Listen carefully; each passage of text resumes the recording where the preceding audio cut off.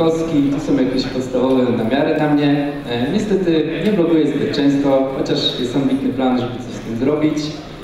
E, Twittera w sobie nigdy się nie nauczyłem używać tak do końca, ale pracuję sobie szczęśliwie w firmie Software Week. E, Zauważyłem taką tendencję, że jak ktoś opowiada o open source'ach, to musi załączyć screen z GitHuba, ile to skomitował do tego open source'a, ile tych pull requestów tam zmerge'ował i tak dalej, i tak więc ja postanowiłem pójść krok dalej. E, Tu jest cały div, czyli mój wkład w Cassandrę. I generalnie można by się śmiać, ale ta flaga, gdyby była poprawnie ustawiona, no to zaoszczędziłaby mi kilka godzin poszukiwania, co tam skopałem. E, I myślę, że to już udowadnia, że wiem o czym mówię. Dobra, po co Cassandra? Po co w ogóle sobie zaprzątać głowę kolejną bazą danych? No i odpowiedź z grubej rury Big Data. I teraz pewnie moi znajomi Business Intelligence rzucą się na mnie z kłami. Jaka Big Data? Jak nie ma drogich serwerów znanej firmy, albo jakiś hurtowni, kostek, olap i tak dalej, to nie jest żadna Big Data. Więc y, ja to pojęcie trochę inaczej rozumiem. Dla mnie Big Data jest wtedy, jeśli musimy przetwarzać olbrzymie ilości danych e, w kontekście rozmiaru, co jest oczywiste, ale również olbrzymie ilości danych w jednostce czasu, czyli transakcji na sekundę. E, Dodatkowo przetwarzać też dane, które są różnego rodzaju, czyli ustrukturyzowane, nieustrukturyzowane, jakieś, nie wiem, stringi, inty, e, bloby. No i w zasadzie twórcy Cassandry na pytanie, czy moje dane nadają się do zapisania w Cassandrze, odpowiadają, jeśli masz dane, to znaczy, że można je zapisać do Cassandry. Z tym twierdzeniem w zasadzie się połowicznie zgadzam, gdyż faktycznie do Cassandry da się bardzo efektywnie zapisać każdy rodzaj danych, ale odczytać z niej nie jest już tak zawsze prosto.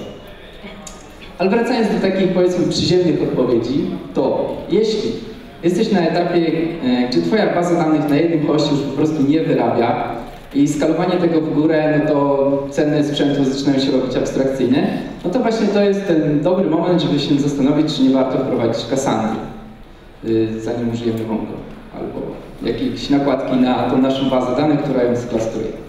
E, Gdyż takim powiedzmy flagowym featurem Cassandry jest y, liniowa skalowalność horyzontalna, czyli na stosunkowo budżetowych sprzętach jesteśmy w stanie osiągnąć bardzo dobrą wydajność.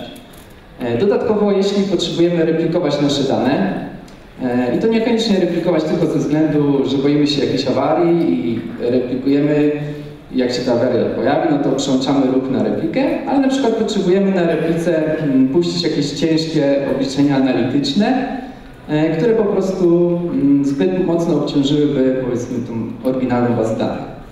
E, Albo chcemy tam puścić ruch jakiś taki w ogóle nieistotny, nie- mniej istotny biznesowo, żeby ci klienci, którzy już przynoszą pieniądze, nie odczuli żadnej e, różnicy. No i tutaj Cassandra też jest w sumie warta do ewaluacji, gdyż replikacja jest tam by default. Zanim stworzymy jakąkolwiek tabelę, musimy już określić, czy będziemy replikować, czy nie. Dobrze. Mówiąc o systemach rozproszonych, e, zawsze warto powiedzieć, jak one wyglądają w e, kontekście teorii Kappa. Ktoś nie wie, co to jest? Wszyscy wiedzą w takim razie. Tak? Okej. Czyli e, z tych trzech rzeczy, które chcemy osiągnąć w systemach rozproszonych, możemy osiągnąć tylko dwie. E, no i w tym kontekście Cassandra jest AP, czyli zapewnia e, bardzo dużą ilość transakcji na sekundę jest w stanie to obsłużyć przy e, jakimś partitioningu w klastrze, czyli przy awariach poszczególnych nodów, czy też połączeń sieciowych, ale możemy zrobić, żeby Cassandra był, zapewniała również spójność. Wtedy koszt, kosztem już tego partitioningu, no ale moim zdaniem to jest taki killer feature, bo tak właśnie wyglądają nasze aplikacje z reguły, że w większości przypadków nie potrzebujemy tej stuprocentowej spójności cały czas, bardziej byśmy woleli mieć wydajność, ale tam powiedzmy jakiś mały procent chcemy mieć wtedy, z tą stuprocentową spójność i w Cassandrze możemy to osiągnąć e, per query. Czyli dla konkretnego querysa możemy to sobie zdefiniować. Dobra, skąd pochodzi projekt? W zasadzie połączenie dwóch dużych projektów, czyli Google Bigtable i Amazon DynamoDB. E, I w 2010 roku Facebook wypuścił taką pierwszą produkcyjną wersję Cassandry. E, no i myślę, że warto wspomnieć, że za tym projektem stoją tacy giganci, no bo to nie jest jakiś projekt akademicki, tylko on miał rozwiązać jakieś ich konkretne problemy. E, obecnie jest używana m.in. przez Netflixa, eBaya, Spotify'a. Także jeśli ktoś miałby wątpliwości, czy jest wygrzana produkcyjnie, no to myślę, że już ich nie powinno być. E, niestety nie mamy czasu, żeby opowiedzieć o całym mit o Cassandrze i skąd taka nazwa, ale wiemy skąd logo. Dobra.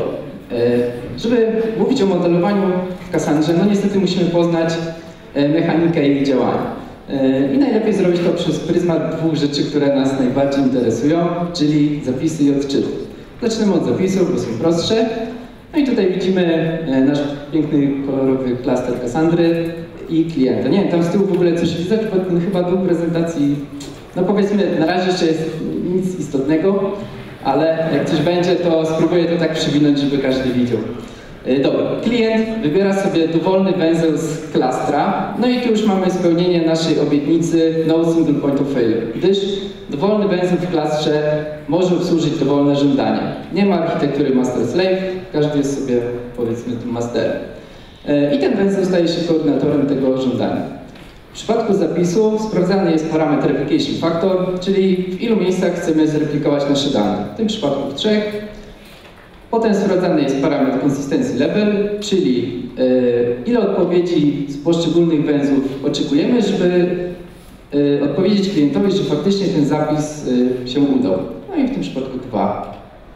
Jak wybierane są te węzły z klastra, do których powinny być zreplikowane dane? Wyobraźmy sobie, że mamy taki token ring, który zaczyna się od bardzo, bardzo małego longa do bardzo, bardzo dużego, ale na potrzeby tej prezentacji powiedzmy, powiedzmy że od 0 do 100 i każdy z węzłów ma przypisany jakiś fragment tego zakresu. Teraz koordynator, widać na końcu? Tą część? Dobra. Koordynator pyta się partitionera, muszę zapisać takie dane, jaki jest token dla tych danych, czyli partitioner to w zasadzie taka funkcja haszująca i on zwraca 77. Wtedy koordynator wie już, że za ten zakres odpowiada jedynka i do jedynki idzie zapis pierwszy, a potem idzie zgodnie z kolejnością węzłów w ringu, czyli dwójka i trójka. No i w sumie nie wiem, zobaczmy sobie jak to działa. E, używam takiego toola, który nazywa się CCM, czyli Cassandra Cluster Manager. E, umożliwia stworzenie lokalnie bardzo szybko e, dowolnej wielkości klastra z dowolną wersją Cassandry. W zasadzie są dwa polecenia i wszystko już stoi, nic nie trzeba konfigurować. No i powiedzmy połączymy się do jakiegoś węzła.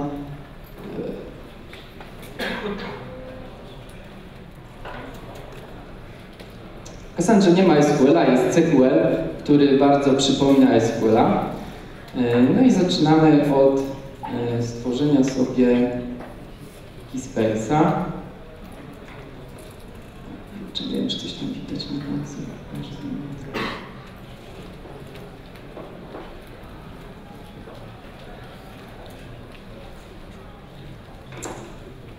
Mhm. Teraz mi się kursor, kursor myszy zgubił. Jezus. No koniec, koniec. E, dobra. Dobra. E, no i widać, że tworząc e, keyspace od razu musimy podać ten parametr replication factor. W tym przypadku 3, żeby symulować to, co mamy na slajdach. Keyspace to jest tak naprawdę taki schema z relacyjnych baz danych, czyli pojemnik na tabelę.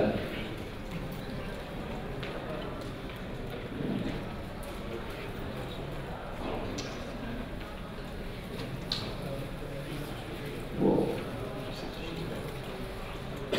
Tworzymy sekwencję, to samo.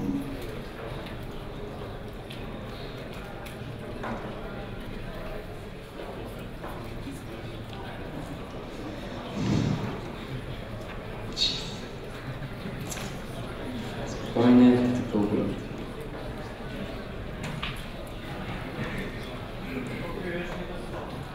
Dobra. Nie, no zaraz mi po prostu kalkuluję. Dobra, chyba sobie ręcznie szybciej to stworzę. Mm.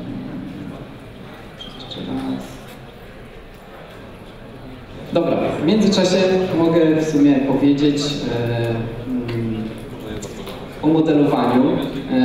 Ten proces jest usystematyzowany, ma jakieś tam swoje kroki. Generalnie hmm, chyba nie ma sensu, żebym potem Wam opowiadał, e, co tam się po kolei dzieje, gdyż to można sobie wszystko przeczytać na oficjalnych materiałach Kassandry. E, więc skupimy się od razu na jakichś tam problemach, e, ewentualnie klasycznych przykładach.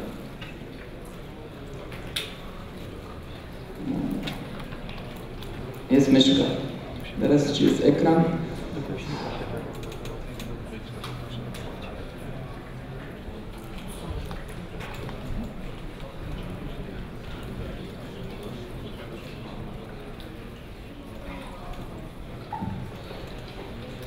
Okay.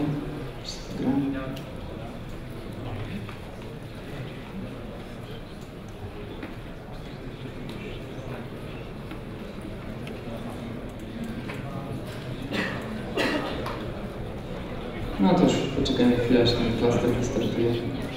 Jest.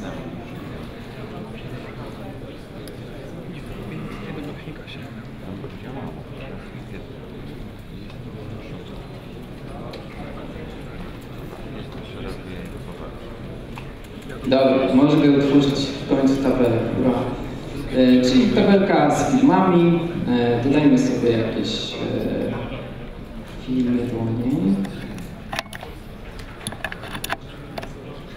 Powiedzmy, że jeszcze jeden.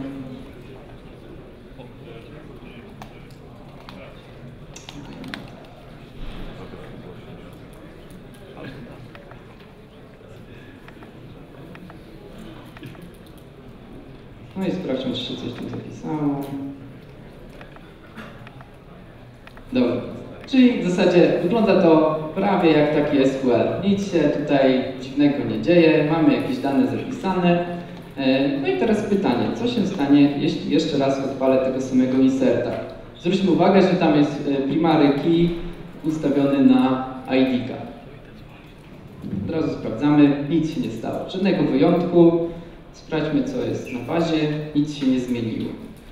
E, no to teraz sprawdźmy, co się stanie, jeśli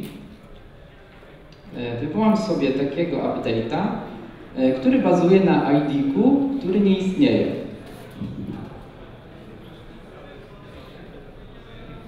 A, to jest błąd w nazwie. Dobra. I znowu, żadnego błędu. Sprawdźmy, co jest na bazie, bo update zmienił się na insert. No to sprawdźmy, co się stanie, jeśli zrobimy sobie inserta takim samym ID-kiem, który już istnieje, ale zmienimy sobie jakąś wartość. No i w tym momencie insert zmienił się na update. E, no i w zasadzie tak właśnie to w Cassandrze działa. Nie ma insertów, update'ów, są abserty. E, czyli w zależności od tego, czy dany ID istnieje, czy nie, wykonywana jest odpowiednia akcja na bazie. I to jest bardzo ważne, że wykonanie tego samego ID nic nie zmienia. Dlaczego? Powiemy potem.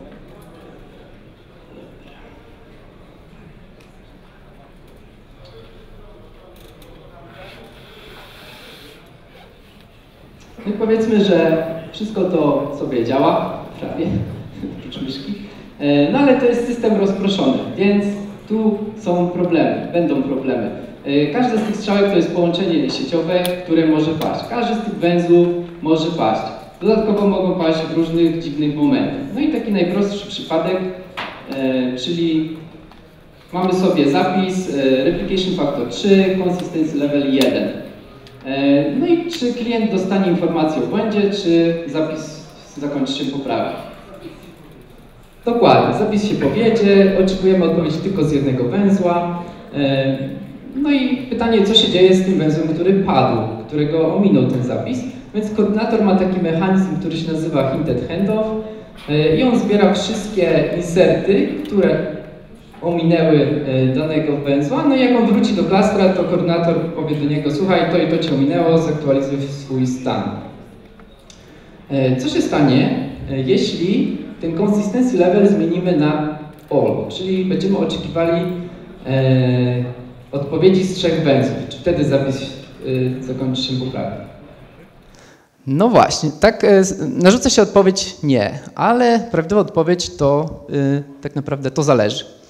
Gdyż y, należy zwrócić uwagę, że nadal trzy węzły w klastrze działają poprawnie. Więc jeśli partycjoner zwróci inny token, nie 77, ale na przykład 49, to replikację zaczynamy od czwórki, potem idzie na jedynkę, potem dwójkę. Wszystkie trzy odpowiadają, koordynator zwraca klientowi odpowiedź, że OK, zapis się udał. E, natomiast mm, jeśli trafimy e, na token, który obejmuje e, w swoim powiedzmy replikacji ten padnięty węzeł, no to klient dostanie odpowiedź, że nie da się tego zapisać. No i w sumie teraz był czas na demo, ale muszę przyspieszyć z racji problemu, więc no, wierzcie mi, że tak jest. Z tym, że mm, to, że y, generalnie w najprostszym przypadku działa to tak, że koordynator dostaje informację zapis, aha, y, consistency level jest 3, czyli z trzech węzłów muszę oczekiwać odpowiedzi, ale najpierw sobie sprawdzę, czy one działają. Jeden z nich nie działa, od razu odpowiadam klientowi, nie da rady, nie da rady tego zapisać i już. Z tym, że ten węzeł może paść dokładnie zaraz po tym sprawdzeniu. Czyli znowu koordynator sprawdza, trzy węzły działają, super, E, zaczyna wysyłać do nich asynchronicznie, żeby tam robiły ten zapis i dokładnie wtedy jeden z nich pada. Czyli na dwóch węzłach insert się powiódł, na trzecim nie, klient dostaje timeout exception. No i pytanie, co z tym fantem zrobić? Niestety klient musi sobie, sobie z tym sam poradzić. Cassandra w żaden sposób e, tutaj nie pomaga. No, może, może że w żaden sposób to przesada. E, niemniej w 90% przypadków to nie jest aż taki wielki problem, gdyż e, inserty są indepotentne, czyli wykonanie ich jeszcze raz nic nie zmieni na bazie. Wystarczy zwykła polityka ponawiania w przypadku timeouta i w końcu uda się zapisać to na tym węźle, który nie działał przez chwilę, a na tych, których już zapis był, nic się nie zmieni, no i to widzieliśmy już na demo, e, no bo inserty właśnie są z reguły indepotentne. Pytanie, co z tymi 10%, 10%, y, które nie są idempotentne, czyli na przykład taki insert, który dodaje coś do listy. Jeśli odpalimy go dwa razy, y, no to siłą rzeczy będziemy mieli duplikaty w tych listach na tych węzłach, które już od początku działały. Y, no i teraz każdy z tych insertów niestety należy rozpatrzyć indywidualnie. W przypadku listy to akurat znowu rozwiązanie jest trywialne. Możemy zmienić listę na seta. Set w Cassandrze nadal utrzymuje kolejność, E, a dodatkowo pilnuje, że nie będzie duplikatów, czyli problem rozwiązany. Natomiast no, tych przypadków może być e, dużo innych. Mm, każdy, tak jak mówiłem, trzeba rozpatrzyć indywidualnie. Być może e, najlepszym rozwiązaniem jest po prostu nic z tym nie robić i zostawić Cassandrze, żeby sama się naprawiła, bo ona ma takie mechanizmy, że w przypadku odczytów, jeśli jest, są jakieś niespójności, to się tam naprawi, albo tak, nie wiem, raz na tydzień, 10 dni powinien być puszczany taki E, powiedzmy globalna synchronizacja wszystkich węzłów w klastrze i być może to nas satysfakcjonuje. Także warto podejść do tego tematu tak dosyć no, nie zero-jedynkowo, tylko właśnie popatrzeć, co, e, co, ma naj, co nas najbardziej układa w danej sytuacji. E, jest jeszcze taki mechanizm, który się nazywa lightweight transaction, czyli w zasadzie taki powiedzmy insert z rollbackiem rozproszonym.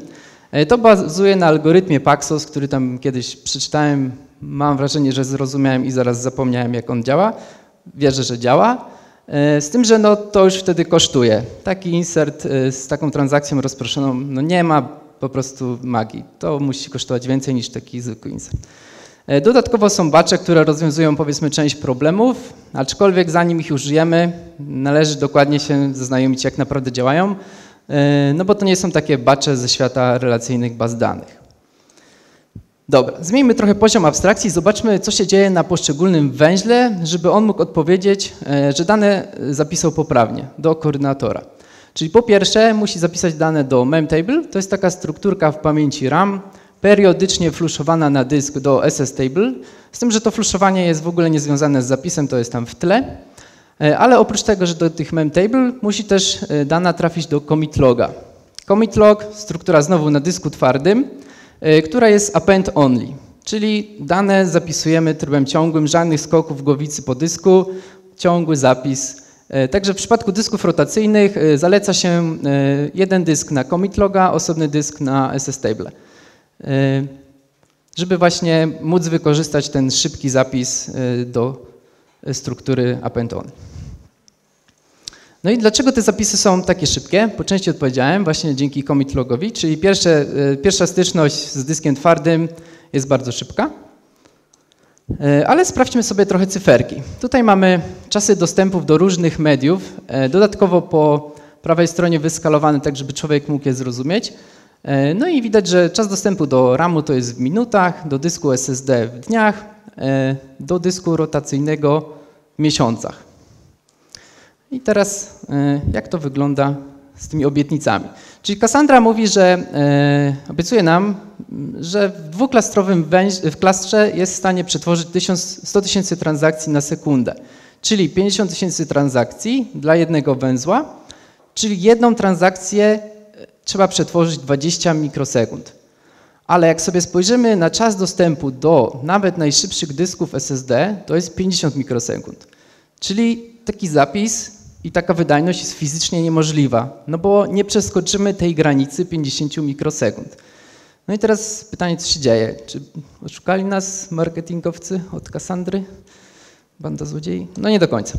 E, Gdyż ten zapis na dysk tak naprawdę nie jest dla każdego inserta, tylko dopiero po 10 sekundach. Czyli przez 10 sekund dany węzeł zbiera sobie wszystkie inserty, po 10 sekundach leci w sync na dysk. Inaczej mówiąc, nasze dane przez 10 sekund są tylko i wyłącznie w pamięci RAM. Jak ktoś teraz odczuwa dyskomfort, to bardzo dobrze. Jak nie odczuwa, to powinien. Gdyż przez 10 sekund no, dużo rzeczy może się zdarzyć. E, W najgorszym przypadku możemy stracić 500 tysięcy insertów według tej wydajności. E, No ale żeby nie było, że spotkaliśmy się tutaj bez sensu, e, no to muszę wprowadzić pojęcie raka. I rak w Cassandrze to jest taki powiedzmy single point of failure, czyli e, jeśli te dwa węzły są na jednym raku, to jak ktoś odetnie zasilanie od raka, to one dwa padają. Ale trójka i czwórka są na innym raku, są bezpieczne. I Cassandra jest świadoma tej topologii sieciowej, więc wie, że nie będzie replikować tych danych do dwójki, która jest powiedzmy w kolejności w ringu, bo dwójka jest na tym samym raku. Aha, dobra, muszę przerzucić te dane jednak do trójki, żeby były bezpieczne. No i teraz jak jedynka padnie, to nadal te dane są na trójce. Z tym, że nadal w ramie, powiedzmy, bo mamy te 10 sekund. Więc jeśli nadal odczuwamy dyskomfort, dokładamy kolejny rak, aż będziemy czuć się bezpiecznie albo stracimy wszystkie pieniądze na infrastrukturę. E, No i ta świadomość topologii sieciowej sięga dalej, e, gdyż jeśli mamy dwa data center, czyli na przykład Europę i Azję, Europa to jest powiedzmy to nasze takie pierwszego dostępu, e, to e, możemy sobie zdefiniować w ogóle różne poziomy replikacji per data center i koordynator po stronie Europy nie będzie e, trzy razy pytał węzłów po stronie Azji, żeby zapisały jakieś dane, tylko wybierze sobie koordynatora po stronie Azji i on jest odpowiedzialny za zreplikowanie tych wszystkich na tym klastrze i tylko on się komunikuje z koordynatorem po stronie Europy i ten odpowiada klientowi, że dany zapis się powiódł lub nie. Więc y, myślę, że widać tutaj, że Cassandra od początku była projektowana jako system rozproszony. Y, no i używając jej produkcyjnie na jednym węźle, to samobójstwo w zasadzie. Y, lokalnie to tam wszystko można, no ale na produkcji inaczej. Dobra, powinniśmy przejść do ścieżki odczytu, która jest o wiele bardziej skomplikowana, ma bardzo różno, różnych dziwnych rzeczy. E, Na szczęście nie, będziemy, nie będę Was o tym zamęczał. E, Generalnie wszystko to, może oprócz tych pierwszych dwóch, czyli wszystkie te struktury in memory i on disk, służą jednej rzeczy zminimalizowanie ilości dostępu do dysku twardego. Bo tak naprawdę przy odczytach to zajmuje najwięcej czasu. Jeśli zminimalizujemy tą ilość, to nasze odczyty będą szybkie.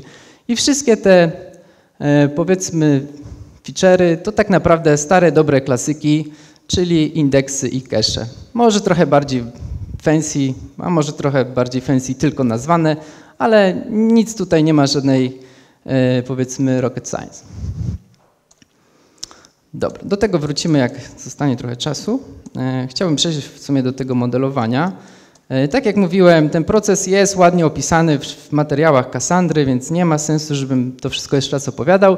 W gruncie rzeczy sprowadza się to wszystko do dwóch rzeczy. Po pierwsze, e, musimy zebrać wszystkie zapytania, które musimy wykonać, żeby, nie wiem, zaprezentować klientowi jakieś treści, czyli query driven development. Wszystkie te zapytania musimy pozbierać. Potem tworzymy sobie dla każdego zapytań tabelkę, która go właśnie zasili i bardzo często to jest tak, że jedno zapytanie, jedna tabelka. No jak ktoś jest z relacyjnych baz danych, to szok, ale no powiedzmy sobie szczerze, nawet w relacyjnych baz danych, bazy, bazach danych prędzej czy później i tak robimy duplikację danych, żeby po prostu odczyty były szybkie. E, A dlaczego tak jest w Cassandrze e, domyślnie? No bo nie ma joinów. E, Można robić joiny po stronie klienta, no ale wtedy trzeba się liczyć z problemami typu out of memory. Mm, Dobra. I mi najbardziej pomogło mm, przestawienie się na taki tryb rozumowania kasandrowego, zrozumienie jak te dane są fizycznie zapisywane na dysku. W przypadku naszej tabeli z filmami, gdzie mamy primary key, który składa się z partition key'a, który jest oparty na jednej kolumnie ID, niestety taka jest terminologia i muszę tak powiedzieć, e, no select gwiazdka wygląda następująco, to już w sumie widzieliśmy. Jak to wygląda na dysku? E, Generalnie w naszych SS tablach mamy cztery partycje. Na partycję wskazuje partition key. Partition key to jest bardzo ważny koncept. Generalnie znając partition key mamy pełną władzę nad danymi, czyli możemy je zapisać i możemy je odczytać. Inaczej mówiąc, żeby pobrać pojedynczy film, musimy podać jego ID. No ktoś może powiedzieć bez sensu, przecież ja tych ID-ków nie znam. To jak, jak, jak mogę sobie pobrać film po tytule? No, dla takiej tabeli się nie da. Ci, co znają Cassandrę, wiedzą, że się da, że jest na to hack, no ale załóżmy, że się nie da. Musimy znać ten ID, chyba że nie podajemy nic w, where, w tej klauzuli where, no i wtedy pobieramy wszystkie dane, no ale to jest bardzo nieefektywny sposób pobierania jednego wiersza. E, Dobra, wracając do tych struktur, do tej partycji. Partycja wskazuje nam na kolekcję wierszy, w tym przypadku tylko jeden wiersz. Wiersz składa się z komórek. Komórki to jest taka para klucz-wartość, czyli w sumie klucz to jest nazwa kolumny, wartość to już są nasze dane. W zasadzie no nie ma tutaj nic jakiegoś niezwykłego. Ale wróćmy do naszego problemu. E, Chcielibyśmy pobrać e, film po tytule. No i co trzeba zrobić w tym temacie? Stworzyć odpowiednią tabelę. No tutaj jeszcze zaznaczenie, że to się nie uda. E, Ta tabela e, wygląda następująco, czyli nasz partition key jest w tym momencie tytułem filmu, no ale pojawia się taki problem, że e, może być wiele filmów o tym samym tytule. No i musimy wprowadzić coś, co zapewni nam unikalność, czyli właśnie clustering kolumn, rok. No bo powiedzmy prawdopodobieństwo, że w danym roku będą dwa filmy o tej samej nazwie, no nadal istnieje, ale powiedzmy, że już jest o wiele mniejszy. E, Więc tak wygląda stworzenie tabeli. E, Select gwiazdka wygląda następująco, czyli możemy już sobie zapisać kilka filmów Godzilla z różnym, wyprodukowanych w różnym powiedzmy latach. E, Jak to wygląda na dysku? Znowu, partycja. Partition wskazuje na w tym momencie już trzy wiersze. I to jest właśnie preferowany sposób przechowywania danych w Cassandrze, żeby te partycje nie były jednowierszowe, ale miały ich więcej. Dlaczego? Bo jak już znajdziemy to miejsce na dysku, gdzie zaczyna się partycja na podstawie partition key'a, to odczyt tych wszystkich wierszy to jest ciągły ruch głowicą. Żadnych skoków, po prostu ciągły odczyt. Więc jeśli tu są 3, 3 tysiące, 3 miliony, nadal ta sama zasada. Te dane są koło siebie fizycznie na dysku. No i to jest bardzo ważne. Dzięki temu e, te odczyty są stosunkowo szybkie. Żeby mieć. No i teraz już e, takie zapytanie, jak tam na dole przejdzie. Niestety na końcu nie widać. No. Żeby mieć pełne spektrum e, przykładów, no to jeszcze możemy zrobić coś takiego jak połączyć dwie kolumny w partition key'u e, i wtedy w sumie osiągnęliśmy to samo, select gwiazdka, filmy o tym samym tule są zapisane do bazy. Natomiast na dysku znowu wygląda to tak jak, podobnie jak w e, tym pierwszym przykładzie, czyli mamy partycje, które mają pojedyncze wiersze, czyli tak jakby rozbudowanie tego partition key'a e, odchudziło nam partycję. I to jest w sumie najważniejsze z tego slajdu. E, z tym, że tym przypadku, żeby pobrać dane e, z e, tej tabeli, musimy pobrać jeden wiersz, musimy za każdym razem podawać tytuł i rok. No w zasadzie bez sensu, E, ale chciałem po prostu zaprezentować pełne spektrum możliwości. Tam jakieś pytanie? Tak, pytanie. Czemu powinniśmy się przejmować, że głowica musi skakać, jeżeli mamy teraz inny hardware niż mieliśmy 10 lat temu, czyli mamy dyski SSD? Tak, w przypadku dysków SSD ta głowica nie ma już takiego znaczenia. Niemniej to nadal należy patrzeć na dysk SSD jak na taką taśmę magnetofonową. Jeśli dane są blisko siebie, to zostaną szybciej odczytane. Niestety nie znam aż tak technikali tych dysków SSD i jak to faktycznie jest, ale wszyscy mądrzy ludzie uważają, że nadal y, taki ciągły zapis, ciągły odczyt jest o wiele bardziej efektywny, pomimo, że to już są dyski SSD. Ale to jest jaka, znaczy już wchodząc do hardware, jaka to jest różnica e, czasu, tak? Czyli jeżeli będziemy używać hardware z dyskami magnetycznymi, a SSD, tak? Czy to jest znaczące dla kasady, nieznaczące? Znaczy nie, no w ogóle jeśli mamy y, dyski SSD, to jak najbardziej należy ich używać w Cassandrze. Z tym, że, y, no bo rotacyjne, no wiadomo jak działają, ale nadal wszystkie te same zasady, czyli dane blisko siebie, y, obowiązują również na dyskach SSD. Niestety nie znam się na hardwareze aż tak dobrze, żeby to jakoś tam uszczegółowić. Jakieś inne jeszcze pytania? O, Jak Cassandra sobie zarządza... Sekunda, poczekaj. W Cassandra zarządza miejscem na kolejne dane w partycji? Ona potem, je, a jeśli yy, je po prostu przesuwa wszystkie do innego miejsca, yy, jeśli, jeśli nie będzie możliwa możliwość zachowania ciągłości, to jaka jest wydajność takiego przeniesienia? No właśnie, po pierwsze, e, partycja musi się w całości zmieścić na jednym węźle. No, na dysku twardym to powiedzmy nie jest problem, bo dyski twarde są stosunkowo duże, więc bardzo e, partycję o wielu y, naprawdę milionach wierszy jesteś w stanie zapisać. Niemniej te miliony wierszy już nie wyglądają tak różowo, bo e, ta sama partycja musi się zmieścić w pamięci RAM i dodatkowo być efektywnie przesyłana po sieci. To jest po pierwsze.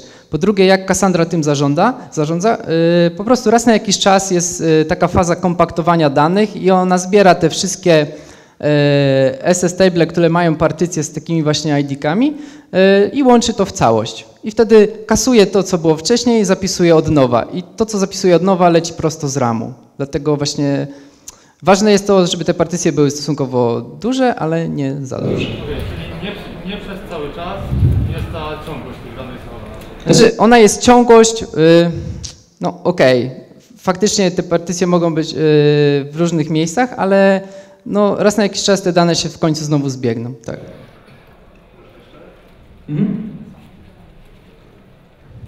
Bo to może będzie później, ale co jeżeli byśmy chcieli czytać z tej samej tabeli po różnych kolumnach?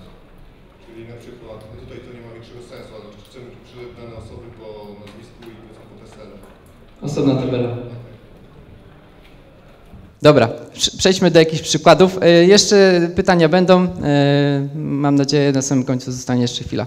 Y, Na początek klasyka, czyli musimy pobrać wszystkie e, filmy, w których występował jakiś aktor i dodatkowo, dodatkowo najnowsze na początku.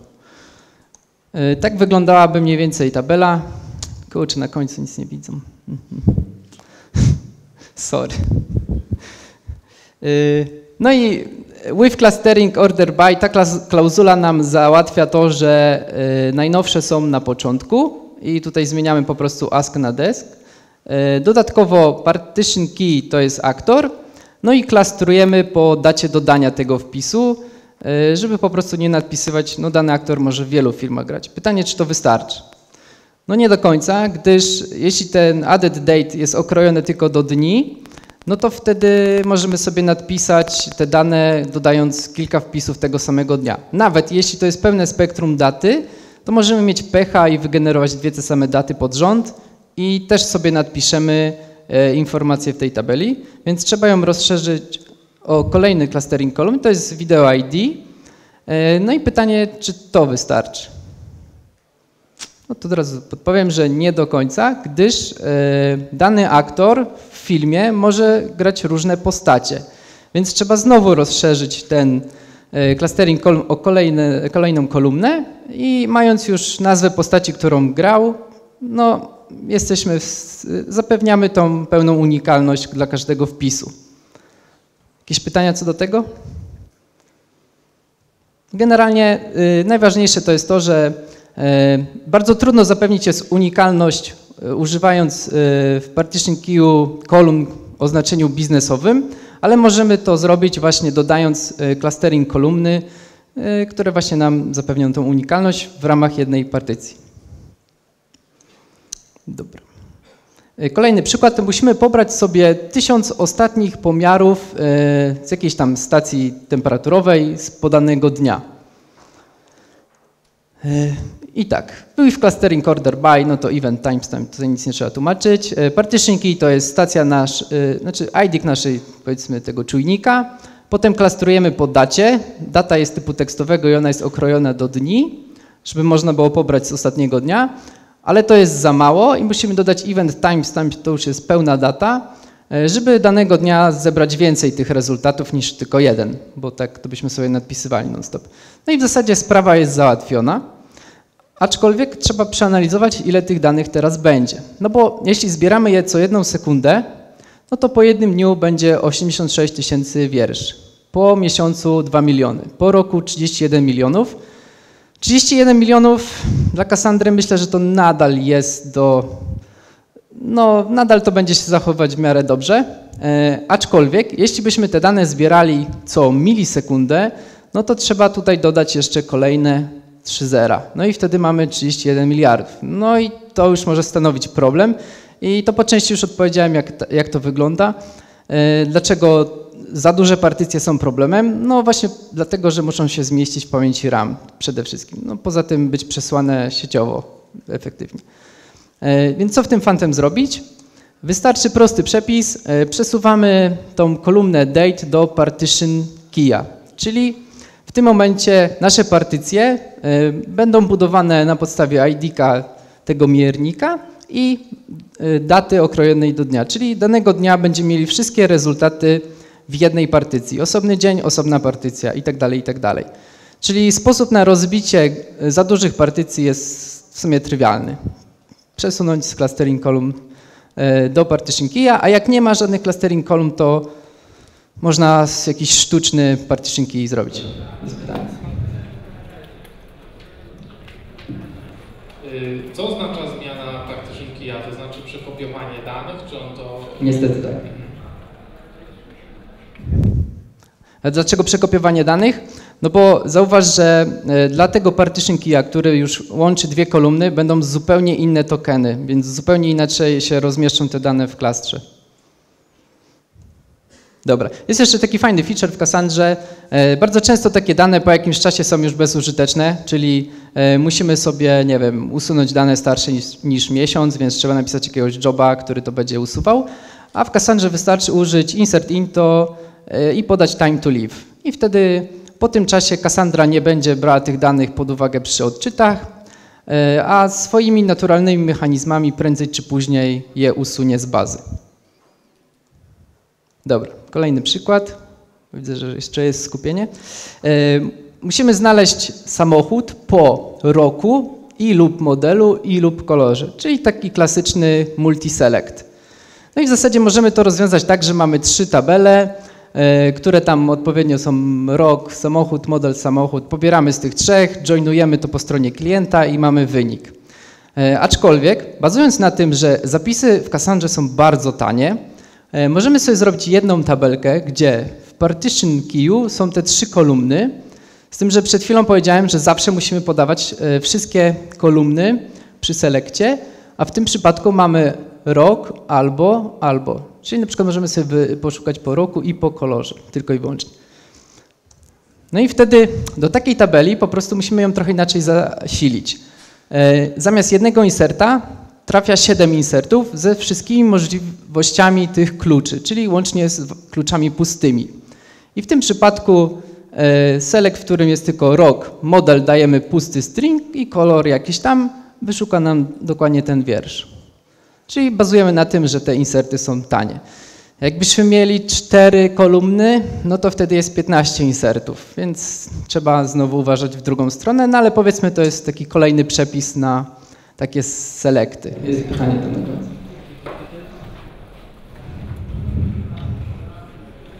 Czy jesteś w stanie w jakiś sposób zapewnić synchronizację pomiędzy na przykład dwiema tabelami, czy musisz to W nowszej wersji Cassandry jest coś takiego, znaczy, może jeszcze dopytam, czy chodzi Ci o to, żeby w dwóch tabelach yy, były te same dane, czy... Chodzi mi o to, jeżeli powiedzmy chcesz wyszukiwać użytkowników po mailu i po username, więc robisz sobie dwie tabelki i aktualizujesz, dodajesz teraz drugiego użytkownika. A, I pytanie, czy Cassandra jest Ci w jakiś sposób w stanie zapewnić spójność pomiędzy tymi Nie. tabelami, czy nie? Okej. Czy ogólnie właśnie y, musimy się y, pogodzić z tym, że to wcale nie jest taki problem, bo powiedzmy sobie szczerze, zmiana maila, ile razy to następuje w jakiejś aplikacji? No, wyobrażam sobie, że są jakieś takie, gdzie to się zmienia non-stop, ale jeśli mamy jakiś sklep, to no nie wiem, zmienił ktoś kiedykolwiek z Was maila? Ja nigdy. Więc y, owszem, to jest problem, y, aczkolwiek no niestety dostajemy super wydajność, ale tworzymy sobie inne problemy. Coś za coś.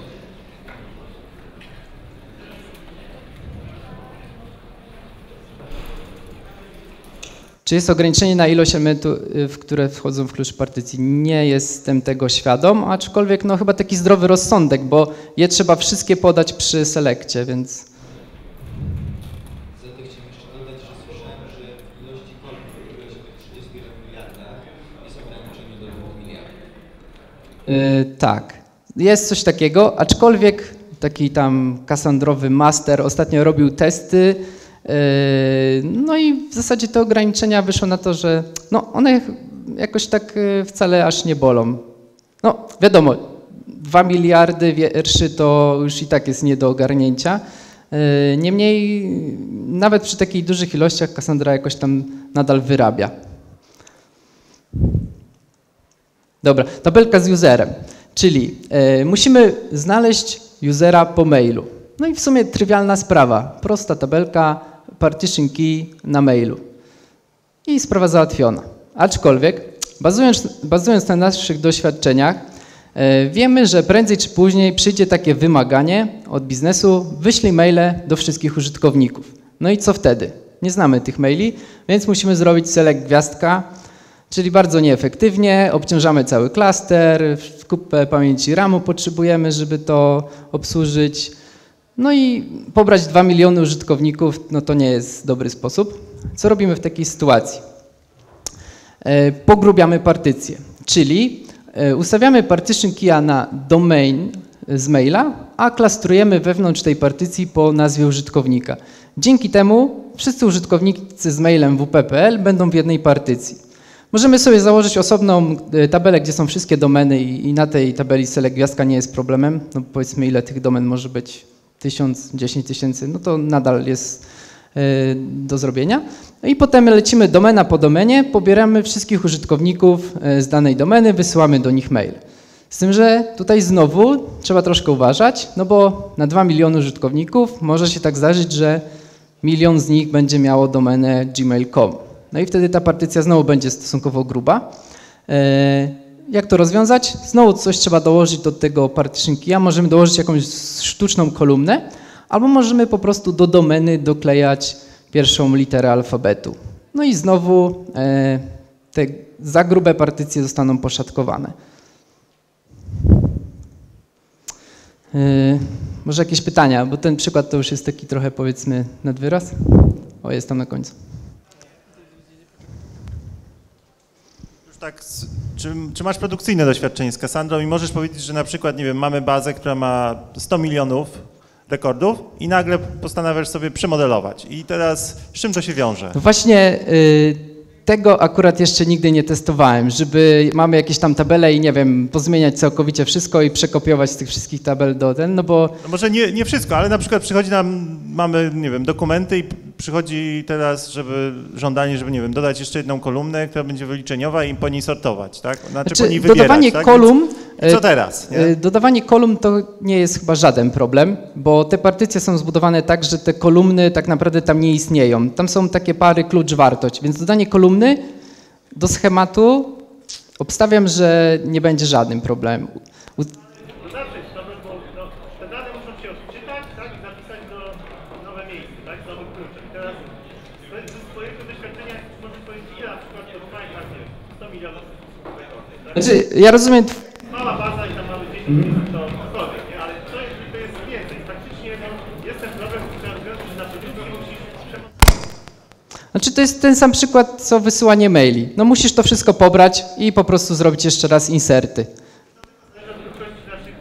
tak tak? No, ilości danych, jakie w zasadzie tak mamy, nie wiem, 100 gigabajtów, to po prostu je trzeba fizycznie przeczytać i Tak, no z tym, że warto wiedzieć, żeby nie, e, znaczy warto zamodelować sobie tak te dane, żeby nie pobierać na raz tych 100 gigabajtów, tylko pobierać odpowiednio grube partycje, nie wiem, powiedzmy po 100 mega i wtedy bierzesz te 100 mega w jednej partycji, e, no i robisz z tego inserty do swojej zmigrowanej tabeli. Z tym, że jeszcze raz wracając do e, tego pytania o kolumny, akurat dodanie jednej kolumny dodatkowej chyba jest bezkosztowe. Mogę się mylić, sprawdzę to, ale biorąc pod uwagę to, jak te e, partycje są zbudowane i właśnie na dysku, dodanie jednej kolumny w sumie nic nie zmieni, bo nie jest tak, że musisz uzupełniać za każdym razem wszystkie kolumny. Jak nie uzupełnisz jednej kolumny, to po prostu nie masz tej pary klucz-wartość w partycji. Witam. Ja mam takie pytanie, bo trochę jeszcze SQL taki, taki podstawowy, nie? A to mam przejście do, na Cassandrę. I teraz tak, ja rzeczy nie mogę tak wyłapać, bo mam jakąś, powiedzmy, dużą tabelkę z informacjami o moich klientach ze sklepu. E, Wyszukiwać nie mogę sobie tak jak w tradycyjnym SQL-u, że chcę po imieniu, chcę po miejscu czy po miejscowości. Muszę sobie stworzyć jakąś tam dodatkową tabelę. I teraz tak, tak tutaj wcześniej też Pan tłumaczył to, e, Muszę sobie wcześniej przygotować odpowiednie partycje w dużej tabeli, tak, żeby nie były te zapytania zbyt kosztowne do przerzucania na przykład y, tego szukania tego maila, tak? Czyli robię sobie na początek po- taką tabelę, że mam e, klientów podzielonych na miasta. A potem mogę na przykład y, zrobić tabelę, że chcę maile z konkretnego miasta, tak? Znaczy, y, bo ja tu prezentuję wszystkie możliwe jakieś y, zastosowania i na co trzeba uważać, ale to nie jest tak, że y, ja tak zawsze, o kurczę, tu na pewno będzie gruba partycja, albo tu będzie za chuda. Po prostu zaczynam od jakiejś wersji podstawowej, cienkie partycje, pojedyncze wiersze. Ok, patrzę, nie skaluje mi się to przy odczytach zbyt dobrze. No to co warto z tym zrobić? No i tak na zasadzie eksperymentów trochę. Nie wiem, czy to odpowiada na twoje pytanie. Okej. I tutaj widzę jeszcze jedno. Jeszcze takie pytanie trochę o opinię. Bo wielokrotnie spotkałem się z przypadkiem, że osoby korzystały z Cassandry jako takiego trochę message brokera, że przesyłali dane analityczne, które w sumie były tylko przez chwilę potrzebne. Time to live był nastawiony na jakiś niski czas i w sumie po godzinie powiedzmy te dane i tak znikały. Jaki jest plus korzystania wtedy z Cassandry, a nie na przykład Kafki? Nie odpowiem Ci na to pytanie, bo nie czuję się zbyt dobrze w kontekście kawki. E, Niemniej, no w sumie przewinę to. e, Takim właśnie zastosowaniem klasyczny use case kasandrowy to są właśnie te listy, personalizacje, jakieś rekomendacje, gdzie na chwilę musisz zasilić jakąś tabelkę e, bardzo szybko, bardzo szybko odczytać dane i zapomnieć, bo Cię to już nie interesuje za godzinę, bo te rekomendacje się zmienią. Więc to jest jak najbardziej prawidłowy use case dla Cassandry. Jak to się ma w kontekście do kawki? E, Jest tutaj taki specjalista, mogę go potem poprosić i możemy porozmawiać.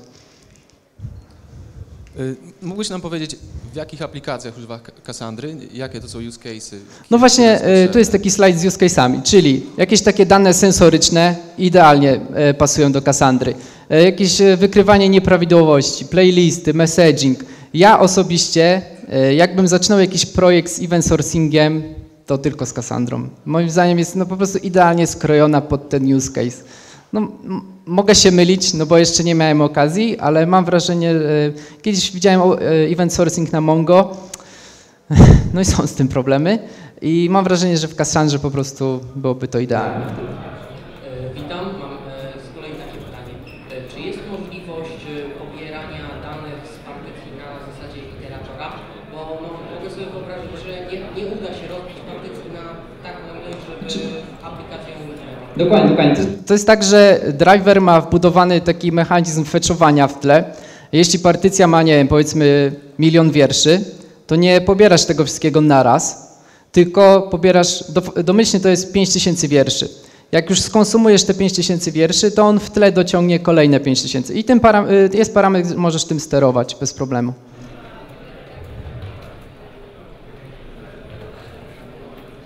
Dobra, jeszcze Mogę wrócić do tamtego slajdu z y, lokowaniem tabeli, chyba że już wymiękacie, to przedstawię anty-use case'y, e, czyli nie używajcie Cassandry, jeśli chcecie y, coś, no nie wiem, zamodelować coś ala kolejka, gdzie jest bardzo dużo zapisów i zaraz potem usunięć, czyli zapis delete, zapis delete, gdyż no, delety w Cassandrze trochę inaczej się zachowują. One nie są od razu usuwane z dysku, to zajmuje nadal pamięć, Zanim to zostanie posprzątane, może minąć jakiś czas. E, Więc to jest jak dla mnie anty-use case i e, taki w sumie globalny anty-use case. Nie używajcie bazy danych e, jako search engine'a.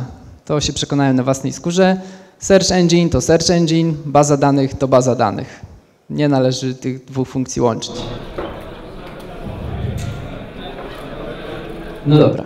Nie wiem, ja jeszcze mogę naprawdę długo gadać. E, Jest pytanie.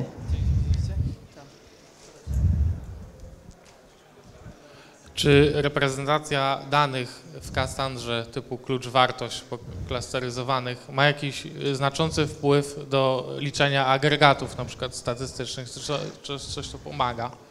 Y, Z agregatami jest taki problem, że y, jeszcze do niedawna był tylko count, czyli mogłeś policzyć sobie ilość wierszy.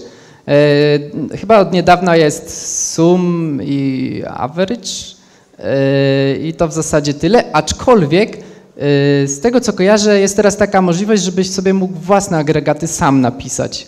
I to jest normalnie, piszesz sobie te agregaty w Javie, nie sprawdzałem tego, to tylko po prostu tak y, z ciekawości gdzieś tam przeczytałem.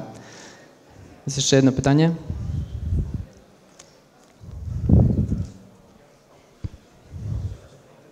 Jak e, jest ze skalowalnością, jeżeli chodzi o wielkość partycji? Czy to jakoś jest ze sobą powiązane? Czyli powiedzmy, jeżeli mamy według przykładu, tak jak tworzyłeś Replication Factor 3 w tym momencie, tak?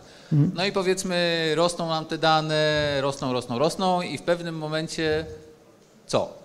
Mamy jakąś staty, jakieś możliwość jakichś statystyk i stwierdzamy, że ok, powinniśmy dorzucić kolejne nody, zwiększyć replication factor i tak dalej. Okej, e, no więc Cassandra Out of the Box e, dostarcza Ci wiele takich fajnych tuli, które prezentują histogramy e, właśnie Twoich danych na dysku, czyli czy na przykład masz dużo partycji o małej ilości wierszy, albo odwrotnie, bardzo mało partycji, ale one mają po milion wierszy. I wtedy sobie w zależności od Twojego konkretnego problemu, use case'u e, próbujesz znaleźć rozwiązanie. Masz na bieżąco zbierane statystyki, jaki jest e, read latency, write latency, więc e, na bieżąco sobie to monitorujesz i w sumie reagujesz, aż coś się dzieje tak naprawdę. Jeszcze dwa pytania. Y, Gdzie jest przechowywana konfiguracja o topologii sieci y, w nodach bezpośrednio, czy w jakichś config serwerach? E, Jest wiele różnych możliwości. E, Możesz to mieć w pliku tekstowym. E, Jeśli używasz Amazona, to tam są takie... To jest mm, per node, rozumiem, tak? Żeby... Tak, per node. Yy, W zasadzie Cassandra ma takie wbudowane, nie wiem jak to nazwać, to się nazywa snitch i coś tam drugiego. Powiedzmy wbudowane drivery pod Amazona, gdzie e, ona będzie wiedzieć, że jesteś na tym i tym availability zone, to jest takie i takie data center i sama sobie to wszystko e, zorganizuje. Możesz też podawać na przykład same IP-ki i potem po masce dojdzie, że ok, te węzły są na jednym klastrze, te są na innym. E, A możesz po prostu to jakoś chyba w pliku tekstowym jawnie podać, także, ale per node. Okej, i jeszcze jedno pytanie. Powiedzmy, że twoje dane są źle rozłożone, czyli masz zły sharding key, powiedzmy jest zbyt rzadki. Mhm. Teraz ja- jak można to zmienić? To jest też przez kopiowanie danych, czy po prostu zmieniasz zakresy i Cassandra sama sobie e, load balancing robi? Jeśli zmieniasz partition key'a, to musisz się liczyć zawsze z tym, że zmieni ci się token dla tych danych, E, więc no siłą rzeczy trzeba to po prostu przepisać. Czyli na nowo zakładasz tabelę, Tak. wkładasz tam dane. No Okej, dokładnie, rozumiem. dokładnie. Dobra, widzę, że tu już następni ludzie wchodzą, więc dziękuję za uwagę, za pytania.